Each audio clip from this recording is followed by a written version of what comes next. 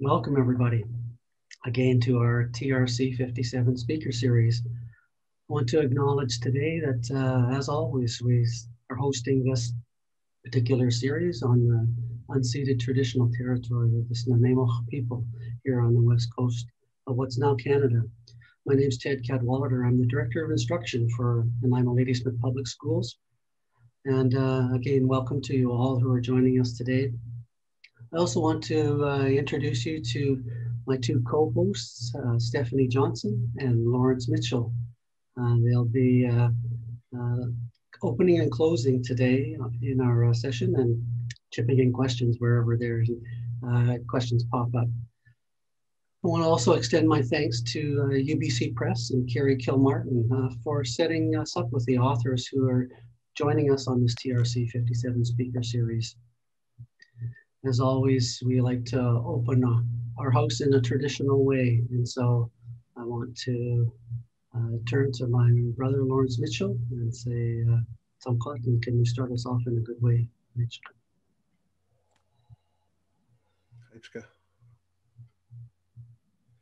Gracha títal siam Tíhuam í am stalch a cuiile quam quam squalwan Tíhuam te í amstalch a cuiile ait squalwan Tíhuam llachan de stodígeth í lálamathe zep de salchanst Tíwiath tan quashwa kígalis í caqui mit snímach Dí chuam sleth ac an stoch tan y twalmwch. Haid gad o hael aid sgwel. Haid ga kwans nanu tliat niml. Na was gwam kwams dyn ysyddi y tan y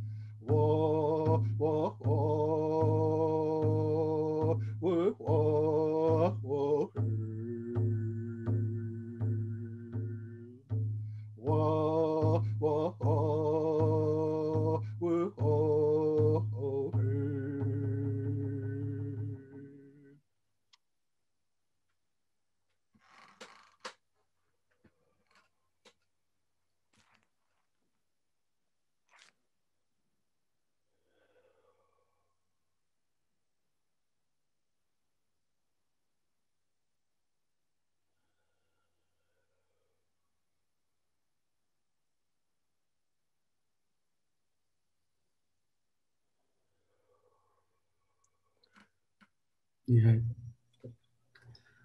It's uh, Sam Samquatan. Um, want to extend out to all of our uh, audience today who are um, uh, recognizing great changes in their life or small changes or just dealing with the day to day. Some of the things that we'll share today, including that song and that opening, uh, are to bring some medicine into your life. Um, we're on this journey together as a as a species and also uh, across this network that we have around indigenous learning.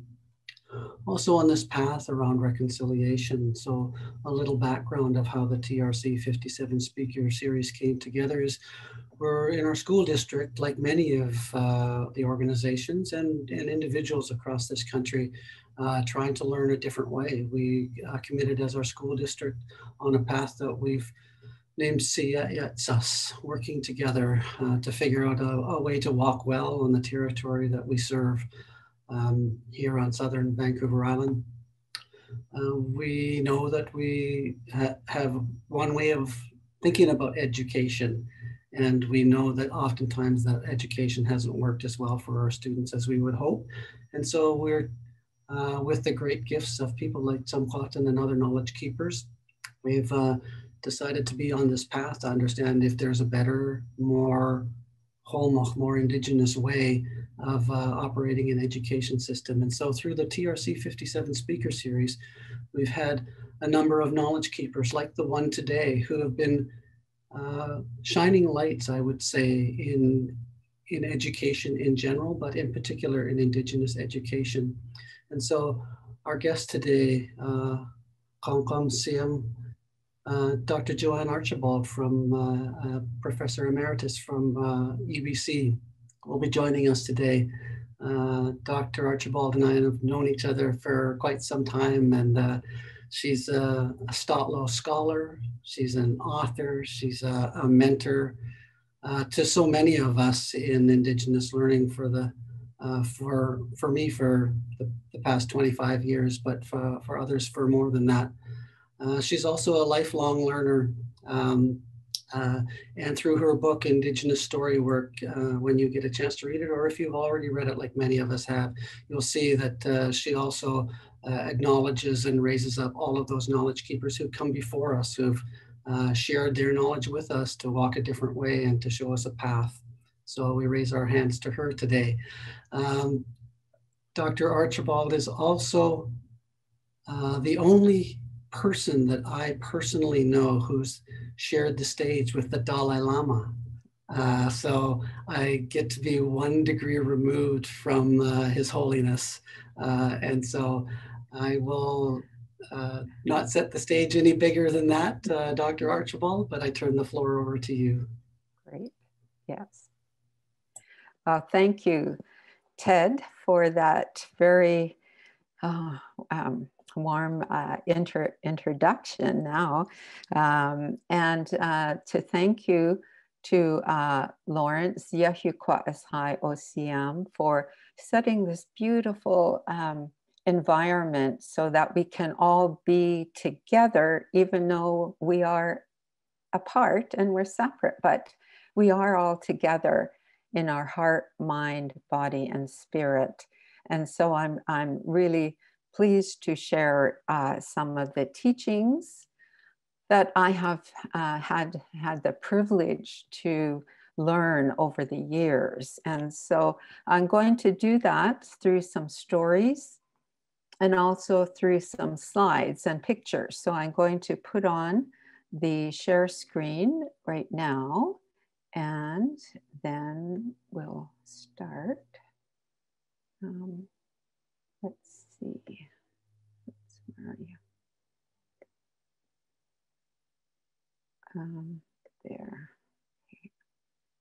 I'm just going to stop for a minute. I have to, uh, sorry, just move this. So now I think I can do this better.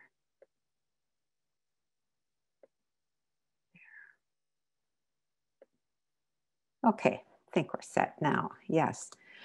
Um, I um, acknowledge where I am situated today in the Vancouver area. I am on the traditional and unceded lands of the Musqueam, people of the Rivergrass, the Squamish Nation, and tsleil people of the inlet. And I am uh, grateful to the stewards of these lands that we can enjoy this beautiful area of um, the land and where the sea and the mountains, the, the land all join together. And I also acknowledge the people of Nanaimo where the um, event is, um, where it is being hosted.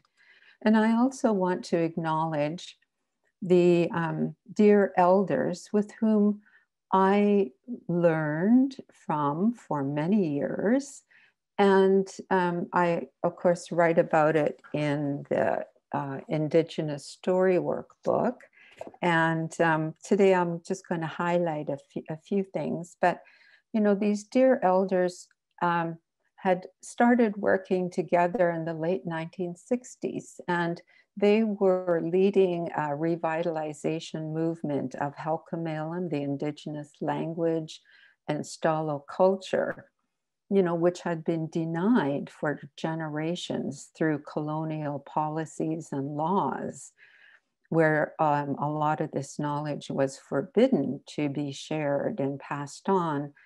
But the resistance of many um, indigenous people over the years has resulted in the ability for us today to be able to carry on this important revitalization movement. But it was as a teacher that I moved back to the Stalo area to teach in elementary grades. I, you know, I had actually grown up in the Stalo area. My reserve is Soowahlie, which is a pretty little reserve, and Soowahlie means to go around the bend. So there's a windy little uh, creek that goes through our reserve. But I, I grew up um, swimming in the creek or trying to swim and picking, you know, blackberries and playing out in the bush with my cousins. And I lived that life, but I didn't understand you know, maybe then what it meant to be Stalo because people didn't talk about being Stalo really, and I didn't hear the language. And, uh, and it was, wasn't until I moved back to Stalo area and started working with the Coqualeetza elders. They were part of what um, you know is known as the Coqualeetza Cultural Center. But they had started to meet in in someone's house for lunch and the person would cook the lunch and they'd sit around and and talk about um, remembering Halkomelem words and phrases and stories and recording all of that. And so that was going on. And I was fortunate enough to, uh, as a part of um, a job I had with the school district, to work with these elders on uh, the development of a, an elementary curriculum we call Stalo. And we, I was able to sit in on the elders' meetings when they then moved to the cultural center. And I remember hearing the Halkomelem language being spoken. And I recall so much laughter and teasing. And then there'd be serious work and it was it was such a wonderful feeling and i was blessed to be able to continue working with these elders for you know almost 10 years i think. And it was from them that i really learned more about what it meant to be stalo people of the river to learn about the resources of the river and to learn about the stories the stories of the mountains you know the different um, um, landmarks uh, and stories about some of the communities. And, and these dear elders shared a number of stories that we then used in the development of an elementary school curriculum that was then for social studies because that was the only subject that we could get a little bit more of indigeneity. At, at the time I was teaching, I think in grade four there was something, in grade 10 there was something, but I went through that public school system and I must say, I, I never felt proud to be Indigenous from what I learned or, you know, about Indigenous people in school. And I think that's why, as a teacher, I felt that wasn't right. And I felt I had to do something about it.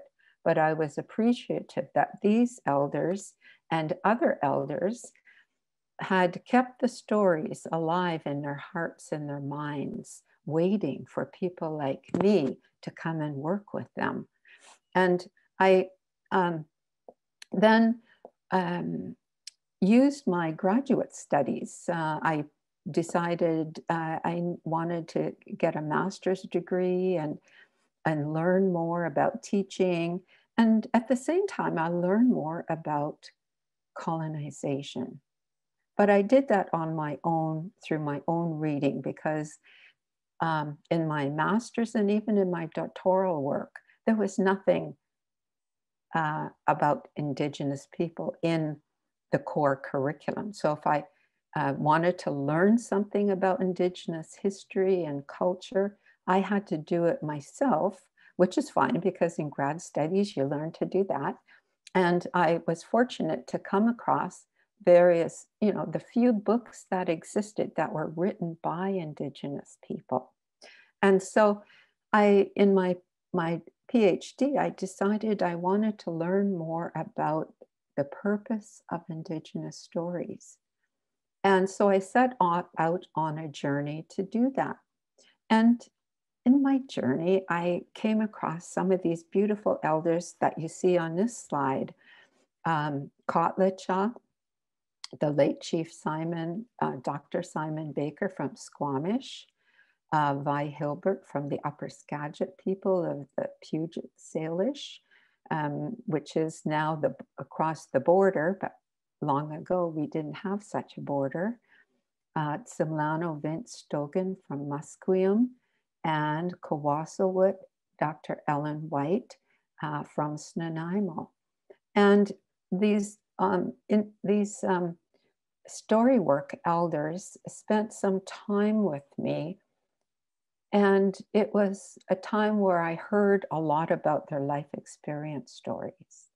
And I also heard them tell some traditional stories.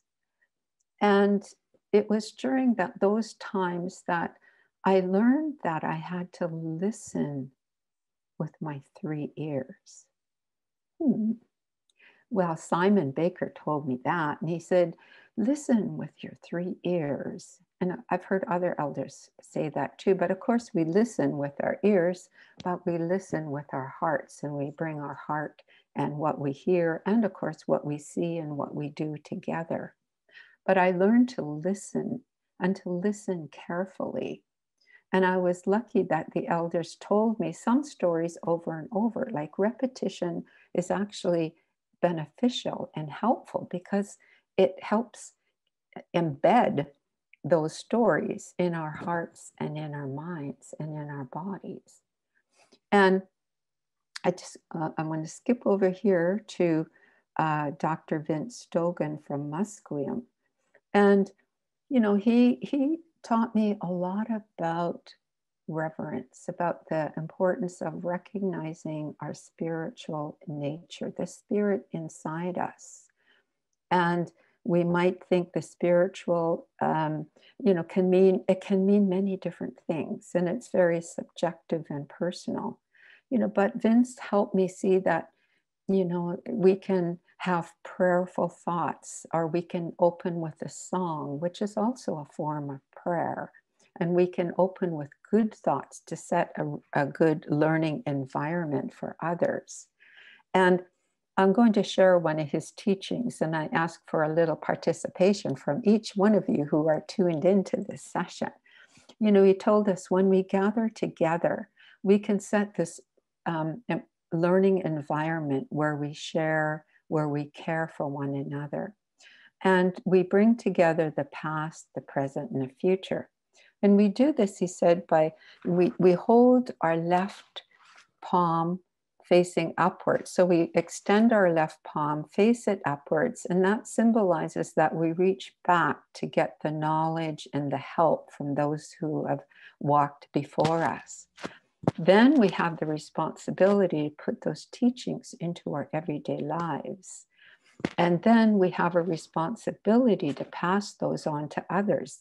And we symbolize that by holding our right hand with our palm facing downward. So we're then giving help. So with our left, we receive, with our right, we give to others. And when we are standing in a circle, we join hands with the person next to us and we give a little squeeze and a little smile, and that connects us. So we can kind of imagine we're all together and, and doing this. And you know, it's it's a way that we um, can pass on our stories, our, our indigenous knowledge, that we learn those from others, and we can learn them from listening, from doing, and and then we pass these forms of learning on to others. And Kwulasulwut, Dr. Ellen White, was such a wonderful storyteller, you know, and she also told her stories through the oral tradition. She mentored others, but she also wrote her stories in different books. And this one, Xeel's, the creator, you know, has her stories, and she worked with her daughter, Vicki White. And Ellen tells the story in one chapter. And in the following chapter, Vicki and Ellen kind of talk about you know, um, a little bit about the story, a little context, sometimes what it might mean, but also leaving it open for us to think about what we take away from the story. And we are blessed that we have her legacy of these stories, you know, that, that she took on her responsibility to uh, teach others through her stories, through her mentorship. So, with these wonderful elders that gave me a really good um, background for uh, creating then a framework for Indigenous story work, which I'll get into uh, in, in a, a few minutes here. But I want to share one story that I heard and I learned from Elder Vi Hilbert. And she helped people um, or she encouraged people to become storytellers. And she also documented the Lushootseed, her indigenous language, and also um, documented a number of the uh, stories. And this one story is um, one that has been a good guide for me over the years. And it's, it's, I think, a fairly short story. So, what I want you to do is kind of relax, um, don't write anything while I'm telling this short little story and just let your imagination have a little fun uh, for a few minutes. And here we, and in our stories, some of the characters can be tiny, what we might think is insignificant little creatures, but they can become an important teacher to us too. And in this story, it's about a tiny little creature named Lady Louse. So just think one day, Lady Louse goes into her great big longhouse. And as she looks inside this longhouse, she begins to feel sad because there's dirt, there's gar- garbage everywhere. So people have not been looking after that longhouse for a long time. But she remembers there was a time when the longhouse was full and it was clean, and there were lots of people who came from the four directions. And they spent days together talking about their stories, their kinship, their laws, feasting, having ceremony, dancing, and singing.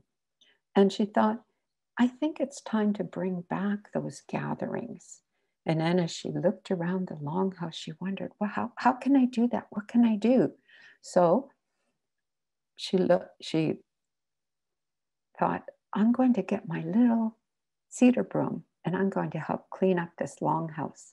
She, she grabbed her cedar broom and she went to one end of the longhouse with the benches and she started sweeping sweeping away and thinking about all the work she had to do. And there was so much dust, it started to rise. And little Lady Louse thought, oh, there's so much to do. So she swept faster and faster. And she got to the middle of the longhouse. There was so much dust. Little Lady Louse got lost. So you might wonder, is that all there is to that story? sometimes, you know, many years ago, I'd hear a story and I thought, hey, was that the ending? Is that all there is to that story? And sometimes some of our stories are like that. They just stop at a certain point. They may seem to end abruptly. But at that point, that's kind of a signal for those who are listening to become part of the story, to start to think about the story, to maybe empathize with the character. Maybe they'll think about some uh, problem they might have that that has you know come about because there's something in the story that kind of sparked that idea and i think that's a form of inclusive quality education to engage the listener the learner to make them think to make them maybe uh, recognize their emotions, to maybe also plan for their actions, and maybe also to maybe soothe their inner spirits. So, you know, with this this this kind of stories then and the work that I did with the elders for many years, it made me think about the importance of becoming story ready. Remember when I said, even when I heard the story or some stories and they stopped and I didn't think, you know, was that the end? Is that all there is to the story? And sometimes the framework of Indigenous stories may be quite different to, in a sense, Western type stories that we may encounter in schools, especially and then we might think they're not as good as they're not as valid they're you know uh, because we're not we don't know how to how to work with them how to learn from them. And that's where i think we need to become story ready. So i spent a lot of time learning from elders and other storytellers about the purposes of stories the protocols that go with them and thinking about how to use them in ways that might reflect indigenous ways of learning and of, of, of, uh, of our, our way of life. But the other part for becoming story ready was also understanding colonial impact. You know, I, I talked, you know, um, there's something about that little Lady Louse story that one time when I was telling the story and we had a few folks talking about it, somebody said, you know, that dust is kind of like the colonial dust where you know indigenous people you know may have got lost or or their ways were forbidden sort of covered over that they couldn't access it. And you know um, and that was a, a, a, a kind of a, an aha moment to think that somebody could share that and got me thinking yeah you know our stories of course were told orally, they were told in the indigenous language, they were told in a context. Over time, you know, they, they became translated into English, put into, you know, school literacy forms sometimes, and it might have changed that story. Or we weren't, um, some of us, uh, introduced to how to how to be with stories. You know, I've heard elders say they lived storied lives. They heard stories all the time. You know, that was a way they learned, and that was a way they they shared. You know, some some uh, share had shared values, And so we have to understand how, how colonization has sort of impacted indigenous ways of knowing and being. And sometimes it takes a while to reawaken or reconnect with our um, indigenous ways of knowing and being, you know, part of reconciliation, reconnecting. And along with that, to appreciate today, we can use the term indigenous knowledge systems. And um, I, hear we need to think about how stories fit into our knowledge systems. And um, as I think about the core of a story, and I learned this from Kwulasulwut Ellen White when we were talking one time. She said, you know, with stories, we have to we have to make sure we know the core of the story, you know, and she used the kind of uh, thinking about a tree or a plant, and we might get stuck on how beautiful the tree is or the flower, but we don't understand what makes that tree or that flower grow, you know, what makes their stem or their trunk strong. And so, with our stories, you know, she was saying we have to know the core of the story. And often that could be the core values of the story. It might be how the story is used in a particular context. Um, and so we have to become story ready and take time. And we can often do that by working along or learning from, you know, Indigenous storytellers or elders who take that responsibility to share this with others. And with that, we have to value those learning relationships that we have, you know, with those who are willing to share, or maybe we're willing to learn together. And that's important because in doing this revitalization, you know, we're bound to make mistakes. But if we're working together, we say with a good heart and a good mind, and we have a, a good relationship where we're working together, we can make mistakes. It's one of, I heard another dear elder say, yes, we can make mistakes, but we can apologize. And then we can say, I'm going to do better next time, right? Which leads us into this framework of Indigenous story work using these principles of uh, respect, reverence, responsibility, and reciprocity. And I think these kind of uh, these uh, core principles, you know, help us become story ready. And when we start using stories, we can use them in a holistic way that they can address our heart, mind, body, and spirit. That sometimes, you know, a story may connect with us on an emotional level. And with that, we can then start to think about you know our emotions and and thinking about what's causing us to feel a certain way then we could think about well what are we going to do about that if it's an emotion that's difficult for us and might help us think of problem solving. So that could be part of the physical actually you know doing something. And that when we start to think of these stories you know um, they do they're not just separate silos of things that you know there's an interrelationship there. Um, you know that little lady Louse i think there are many times i felt like her there's so much work to do especially at ubc where i spent many years. And you know so much to do that sometimes i got i got lost or maybe i got i lost the vision because you get sidetracked to you know many other things there. And having this you know thinking about heart mind body and spirit then is is good to think about the interrelationships of our story understandings that they may connect us emotionally to actions to physical to thinking more or trying to be creative at times.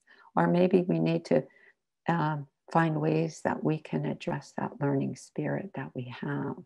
And when we start working together and sharing, we can create a wonderful synergy that we can have other thoughts and, and work together. Like maybe little lady Lo, she forgot that she had a big extended family that might have helped her.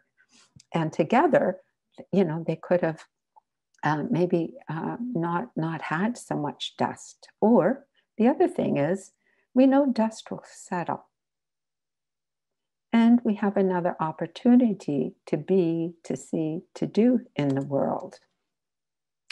And when I think about, you know, some of the different um, pedagogies that we might use in relation to story work, you know, we, we know a lot today that people talk about land-based education, being out on the on the land, being by the river, you know, is important, and we can learn about, you know, this the the kind of the the spiritual nature that nature has. That sometimes sitting by the river, for me, has been so important to soothe my emotions, to calm me at times, to get me centered so I can go out and do some more.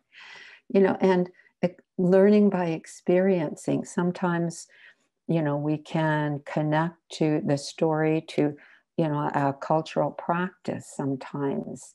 And through the experience, we learn more about cultural ways of doing something um, and or even with stories we can role play. I do that a lot with my little wee grandchildren we play raven and eagle and mouse woman and make up um, uh, uh, adventures that they get into uh, too.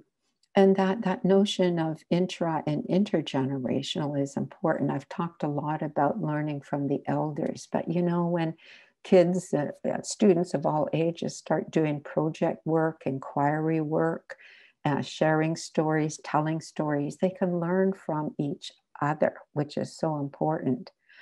And I think I've talked uh, enough about holistic, addressing heart, mind, body, and spirit, or connecting one with family and community is also part of a holistic approach. And that taking time to establish relationships is so important that then we're not alone, but we we are together doing this work. And other lessons that have come about, you know, I talked about understanding sort of the colonial uh, impact. And the do the hard work first, I think is part of that. And I learned this from my my little grandson, who then was six years old, and we often would do crafts together um, and and this is before COVID, but you know we'd be doing the crafts, and and one time I think I was having a little difficulty trying to figure out how to do something to show him, and he calls me Cecila. Grandmother he said, Cecila, he said, you have to do the hard work first. He said, and then it might get easier, but you have to do the hard work first. So I said, oh yeah, okay, that sounds like a good plan. So let's tackle this hard hard work this this task. And we did. We figured it out eventually. And then i thought later yeah that's like understanding colonial impact. All of us are impacted not just indigenous people. And we have to think about how that colonial impact you know has influenced education over the years for all of us. And with that we become story ready which i've talked about.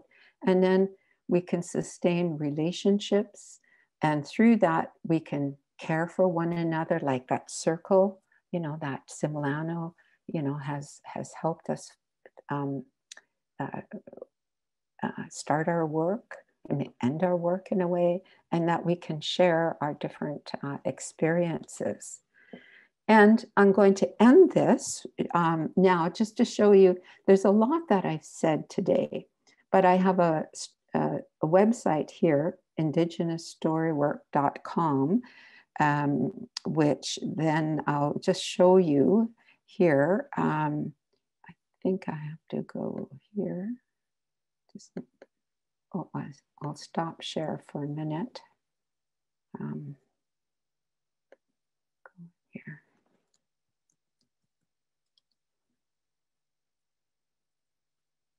Okay, now I'll go back to, sorry about that, but here it is.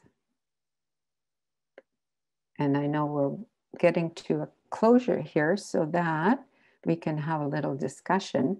But I think you can see this website.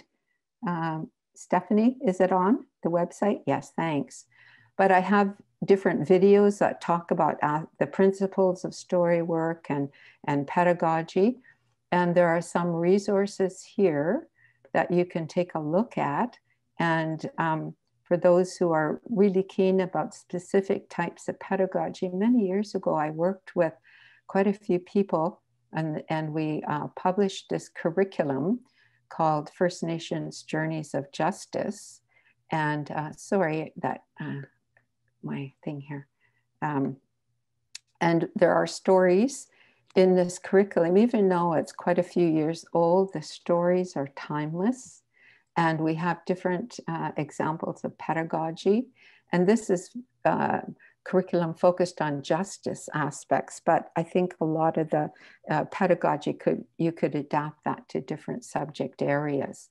So within this website, there are um, other types of resources that you, uh, some stories, storybooks, etc. Mm-hmm. So I just wanted to end by sharing uh, this particular um, website with you. So um, all my relations.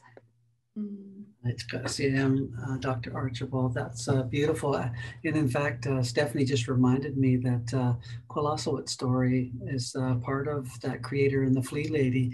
And uh, we've used that as, as an inspiration or, or a metaphor or a, mm-hmm. or a teaching tool here in our work in the school district as well. So thanks for sharing all that. And it's wonderful to know that that work still sits uh, in a safe place on, the, on the indigenousstorywork.com website.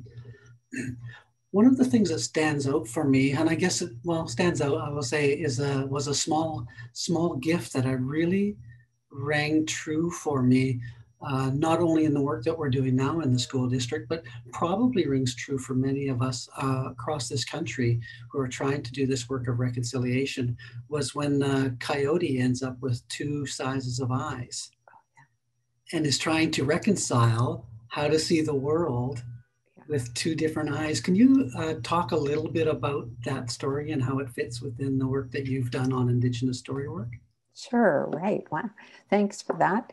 Well, that you know, the coyote has, and there's there's different versions of these mm-hmm. stories that are found in many different of the indigenous cultures. But you know, a coyote had one little eye of mouse, and and maybe that might might be a way to where we can see what's close to us or think about what we're doing and the other other uh, other eye um, was um, what was it? Mouse and oh it's so long ago since I I'm not sure if it was rabbit or whether it was his own.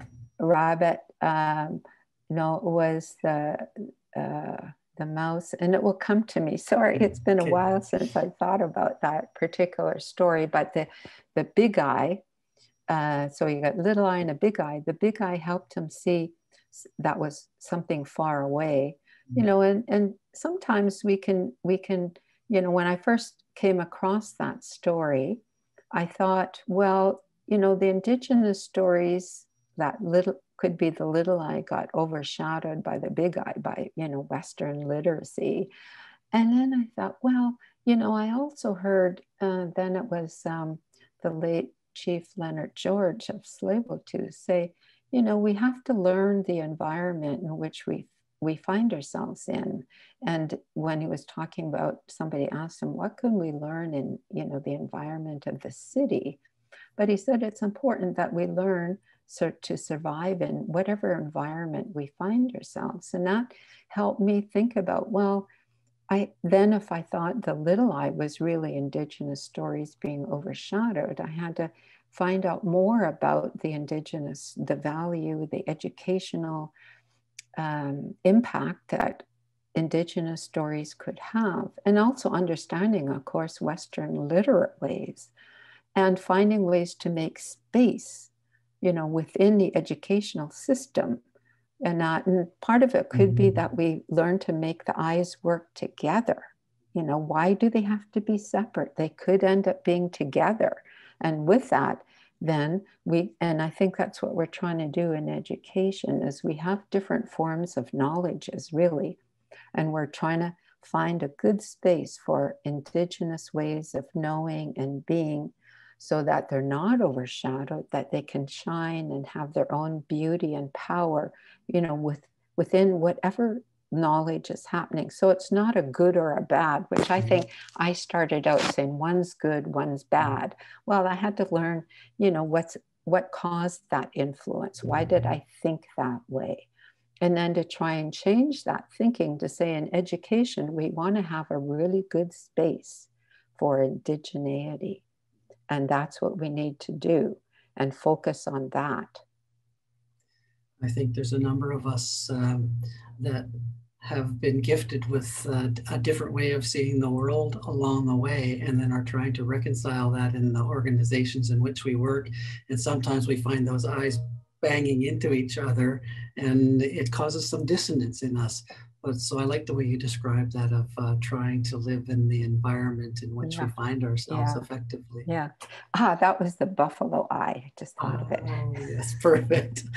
An- another thing that uh, you you spoke about in there, and other authors have talked about this too. Uh, notably, Thomas King, uh, when he said, you know, the power of story is really that's all we are is stories. Mm-hmm. Uh, one of the things that uh, that Ellen White uh, shares in your book is about preparing students for that story because stories in and of themselves can have great power and the storyteller takes that seriously. They're not just sharing stories for the sake of amusement. Sometimes they are, but some of those stories have great power within them. And you have to be thoughtful about when and where you share those stories.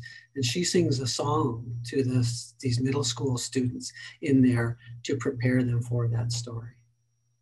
Um, hmm. can you talk a little bit about just that, that power of stories and being thoughtful about how they were shared? Maybe some of the knowledge that those gifted storytellers that you talked about at the beginning shared with you. Yeah.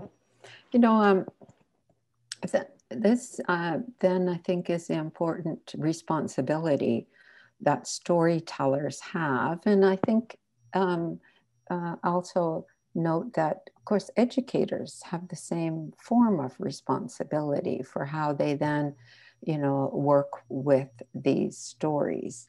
And I think that, um, you know, storytellers, you know, have thought about and they're experienced about which stories to tell, to tell, when to tell them, how to get the learners ready for the stories you know so i think that story readiness part of it is on the part of us whether you know we're the educator or the storyteller getting ourselves ready so that we know something about the story. We know a, a context in which it's used or we know when not to use a particular story or which ways are probably you know um, better better left for a one-on-one type of learning compared to kind of group learning perhaps. And and really that's that's that's thinking about the readiness of the listener the learner.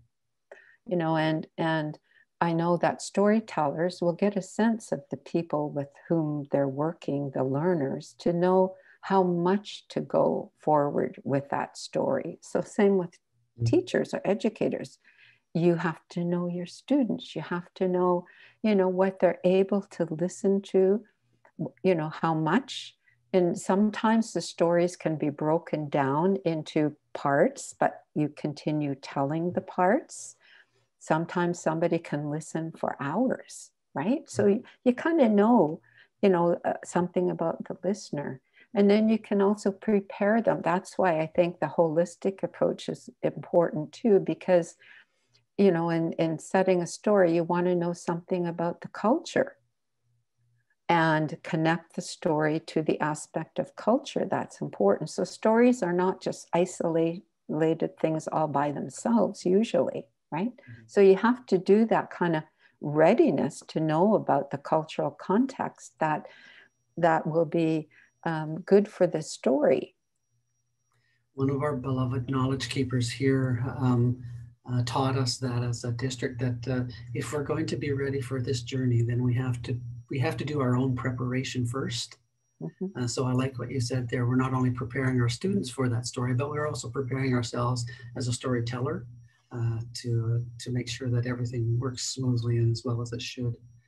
One of the questions from our audience members that I like up here, it says, do you feel the open-ended perspectives found in storytelling is difficult for the Western attitude towards right and wrong, mm. etc. Yeah. Well, I guess it might be difficult if you think that that that there is right and wrong, um, mm. you know. But somehow, I think in education, you know, we want to ensure that that um, those who are learning have have you know there are times when you we have kind of open-ended you know kind of learning and responses um, and i think we have to set aside right and wrong mm. but kind of open up to possibilities because that's where i think we learn look at you know um, how you know sometimes our greatest insights you know come from imaginative, mm. creative problem solving or discussion, you know, and if we had right and wrong, we wouldn't do that. Now, I'm saying there's sometimes you do have right and wrong, you know, when learning some things. But with many of our Indigenous stories, they're not like that. It's a different kind of pedagogy. So then you have to use the pedagogy that works for those stories. Wonderful. Thank you for sharing that. And uh, I'll just point uh, our audience members to back to indigenousstorywork.com uh, for some of those pedagogies and, and some of those stories that uh, you can learn a bit, a little bit more about these sorts of things. I want to uh, raise my hands to you, Dr. Archibald, for joining us today and helping us on this journey. I'm going to uh, turn it over to our, our co-host, Tom and Lawrence Mitchell, uh, to close our house out today with any final remarks.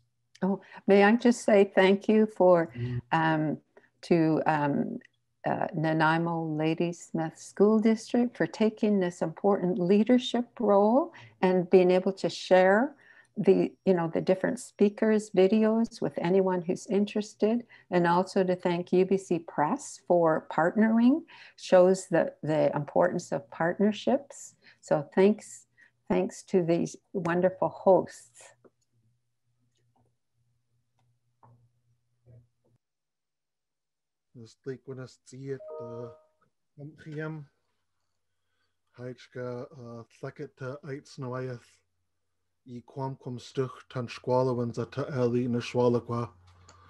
Really want to thank you, for laying down all of the good teachings and all of the good words to ourselves as our reminders and all of everybody that has joined us today and everybody that will view this recording in the future. Um, a lot of good reminders when you know listening listening with my third ear. That's the first time I've ever heard that, but it makes so much sense. And I thank you for helping me in my life. Uh, really want to thank everybody for joining us today. You know, we wish you nothing but blessings and light and strength as you carry out your good work. And we will sh- share a bit of a song. HKCM Shwalakwa. oh,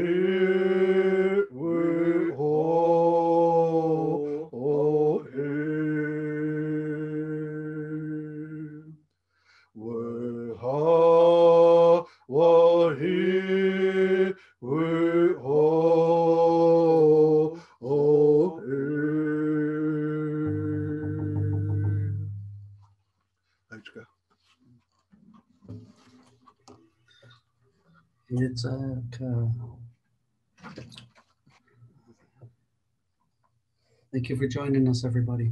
Uh, and uh, it's good to see Jalen in the background there too. Some question thanks for that. Uh, again, thank you, Dr. Archibald. Thank you for all of our guests, and thank you for your comments in the in the chat box as well. I'm glad to see that that good medicine has reached out across uh, all of us today. Uh, join us next time.